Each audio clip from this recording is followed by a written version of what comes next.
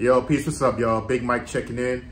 Real Talk TV. Hope you guys are having a blessed day and thank you for watching the video. I appreciate it.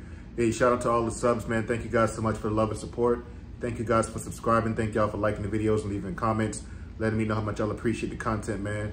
You guys mean more to me than y'all really know, man. I appreciate you guys and love you guys for that, man, for real. Also, if you're not subscribed to the channel, do me a favor, hit that subscribe button right there at the bottom right corner. Don't forget to hit that bell icon, hit that like button, hit me up in the comments, and also share the video.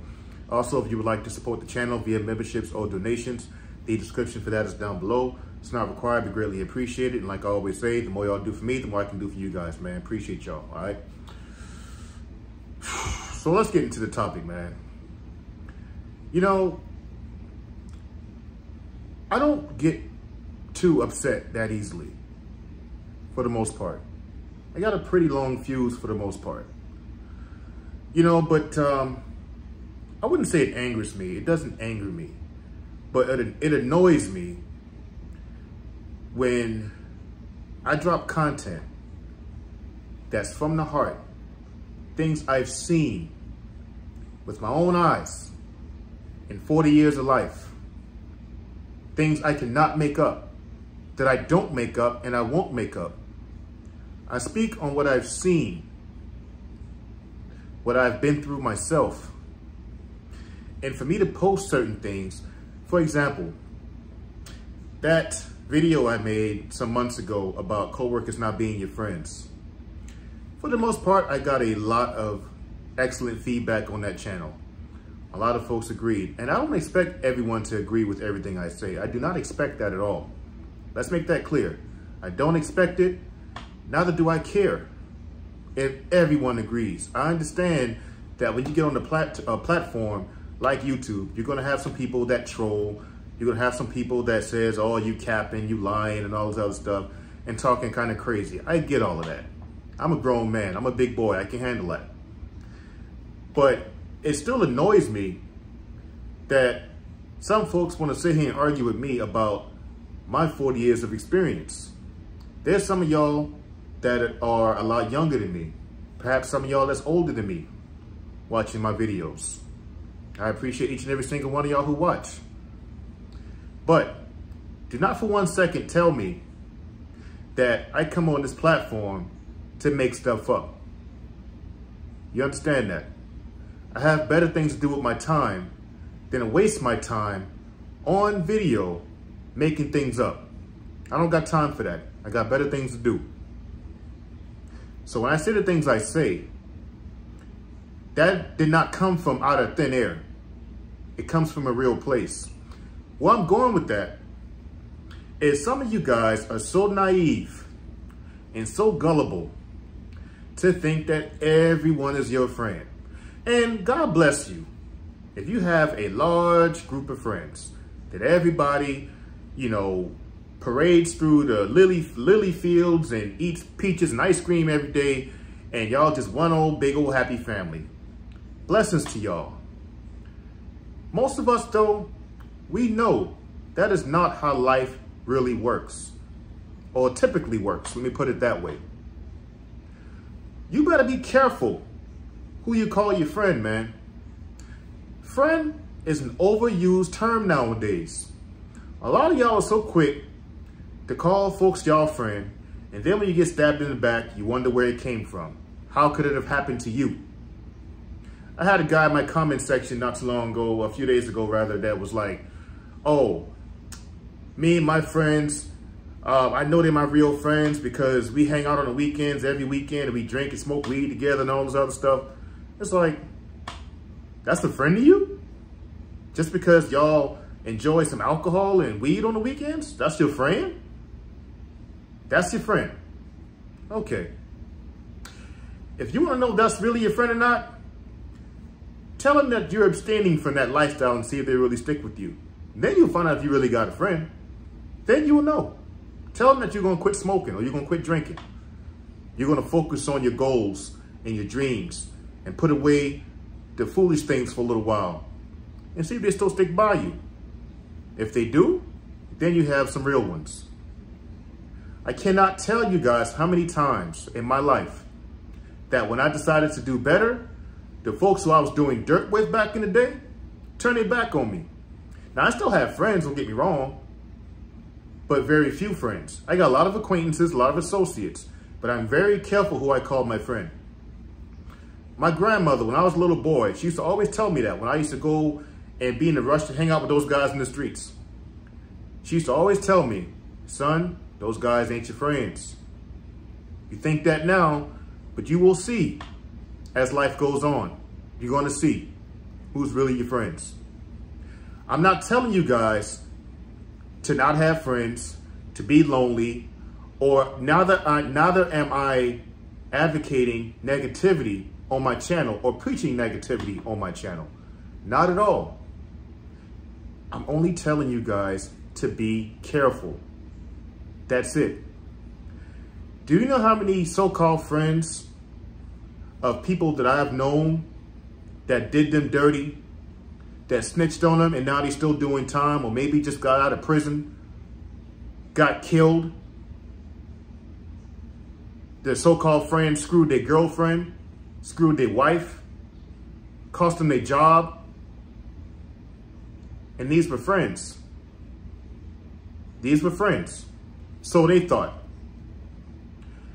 How many times people in my life have done me dirty that I've been nothing but good to, that I thought were my friends? I'm not to get on here and tell y'all a bunch of BS. I'm telling y'all what's real. Be careful who you have in your circle. The great Jesus Christ himself, our Lord and Savior, he said in the word, have I not chosen you 12 and one of you is a devil? Judas, the one who betrayed him. Y'all know the story. Those y'all who ever read the Bible or been to church. Y'all know the story. If it can happen to Jesus, what make you think it cannot happen to you? Everybody's your friend, huh? Everybody's your buddy. Y'all all get along and sing and drink and dance on the weekends. That's cool. Nothing wrong with that. Nothing wrong with that. But like I say, if you really believe you got friends, put them to the test. Just because y'all laugh and dance and drink and smoke, whatever it is y'all do, go run the streets together, chase dudes, chase women. Just because y'all do that on the weekends and y'all all enjoy the same activity, does not mean they're your friends. Do they show up when you need them most? When you're low on money? When your car breaks down? When you're about to lose your apartment or your house? That's when you know who your friends are, man. That's all I'm trying to tell y'all. It's not about being negative. It's about being realistic in this game of life. That's what I talk about. I give y'all the real. And that's always how I'm going to give it to y'all. Every time I step on this platform, I'm not going to give y'all nothing less. A lot of y'all got stories like that. Y'all have had friends that stab you in the back. And you want to sit there, so oh, not you watching, but I'm saying a lot of you guys who get in my comment section saying, oh, everyone's at, everyone at work is my friend. That very well may be the case. I'm not going to say ain't doubt you. I don't know you. I don't know your life. I don't know your circle of people that you hang around with. I don't know that. Anything about these people. But from my experience, I've seen a lot of so-called friends at work stab their so-called friends in the back to get ahead. I'm in the military, and I'm not speaking bad on the military. That's my profession. But the people that I've served with and around, I've seen a lot of, for the lack of a better term, fuckery. I've seen a lot of it.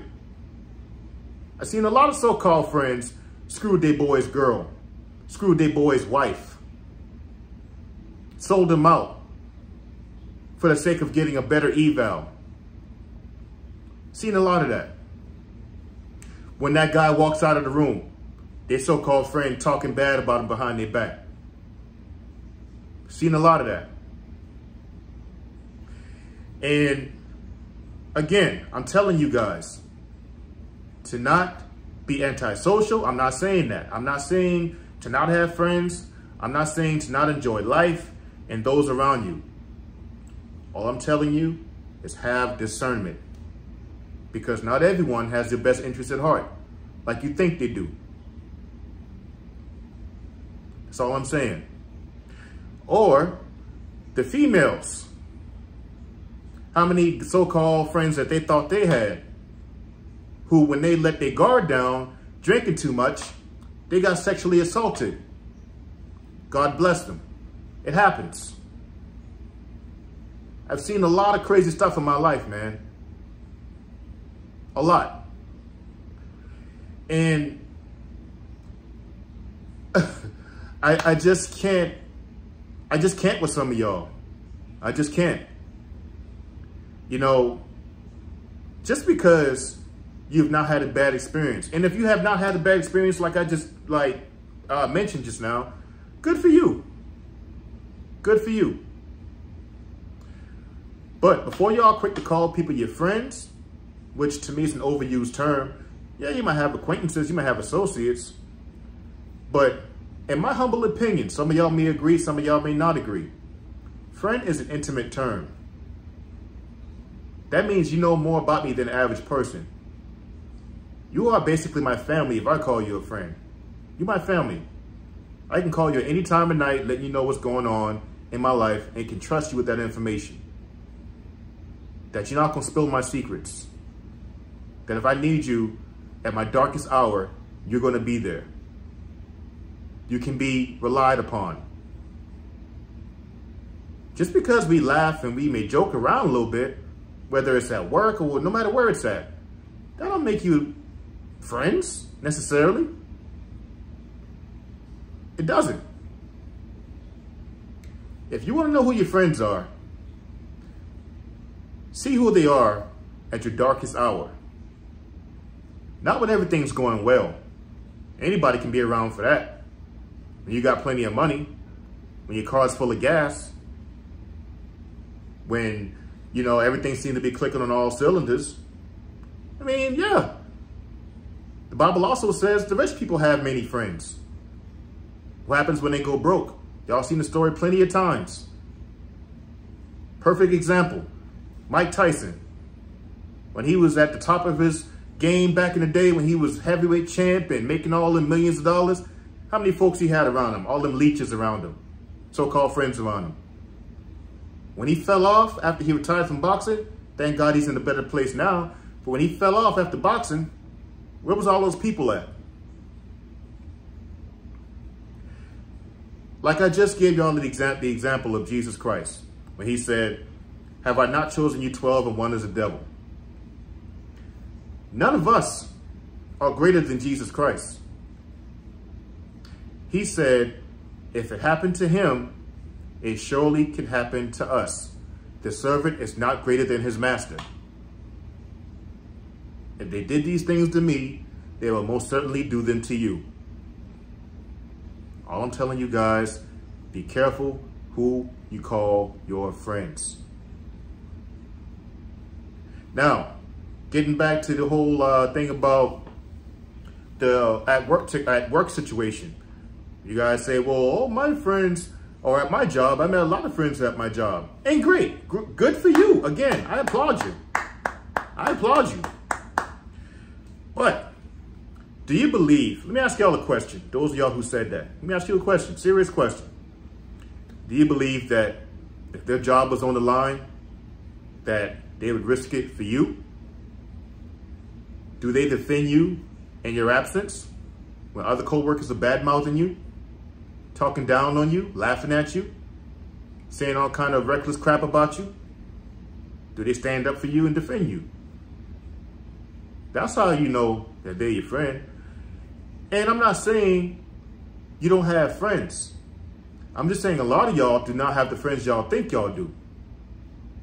Can you trust that friend around your wife when you're not around? And he, you know he ain't gonna try nothing. That woman around your man when you're not around and she's not gonna try nothing. Now, I wouldn't even advise that. I don't care how, much, how good of friends y'all are. But I'm just using that as an example. Would you trust him that much? And I had some veterans, some military veterans who said, you know, they were in combat and those guys who they served with are their brothers. Now, hey, listen, man, you guys are exempt. I get that. Blessings to y'all. If you ever been in combat with somebody who you had to rely on for your life, your life was literally in their hands and their life is in your hands, that's a bond I cannot understand. I've never been in combat, but I've seen a lot. And to those y'all who say, oh, you're in the military, all these guys are your brothers. No, the hell they not. We work together. We got a good working relationship, some of us. But they ain't my brothers. They ain't my best friends just because we serve in the same branch together. No. A lot of them will step on you to get ahead. I've seen it too many times. A lot of them, as soon as you walk out of a room, they talk down on your name. Especially if you're the one who's performing the best. they're after you. They want your spot. Just because we enjoy some drinks on the weekends or whatever the case is, every once in a while, that don't make us best friends. So those y'all who say that, oh, you in the military, you guys should be like brothers and blah, blah, blah, blah, blah. Man, get the hell out of here. That's not the case at all. I've met friends in the military, yes, but not all of them are my brothers. Now, I will do my job. My job description entails me defending them if I have to. That's my job. I have to do that. But at the end of the day, that does not make us best friends. I'm doing my job and I'll always do my job. Let me tell you something, man. At the end of the day, most people are going to be in it for themselves. They will take care of themselves before they take care of you. A friend, if they're really a friend, if it means losing you or losing whatever it is that they hold on to, uh, to so tight, a lot of them will sacrifice that to not betray you and to backstab you. If you got one of them, then you got a real friend. Hey, that's all I got to say on the topic, man. Again, I'm not a negative person. Please, far from it. I'm just a realist. I've seen it over and over and over again. And ain't nobody gonna come in my comment section and tell me that I'm full of it and I know what I've seen. I am not a naive, stupid person. Far from that. And those of you guys who cannot relate, those of you guys who got great friends and you have a great life, hey man, again, I applaud you. I applaud you. A lot of us know, however, that's not the case. Be careful who you call your friend. Be wise. That's all I'm saying. Before you call people your friend, test them. Test their spirit. Test their motives. Test their mentality. Observe their habits. Because your friends have a huge impact on your character, how you're shaped, how you develop, and what happens in your life. Who you allow in your life has a huge impact on how your life turns out. That's all I'm trying to tell y'all, man. But anyway, that's all I got in the video, man. I hope you guys enjoyed it. And if you did, hit, do me a favor, hit that like button. Don't forget to hit me up in the comments if you got anything to share with me in regard to the topic. Also, do not forget to subscribe if you haven't done so already, all right?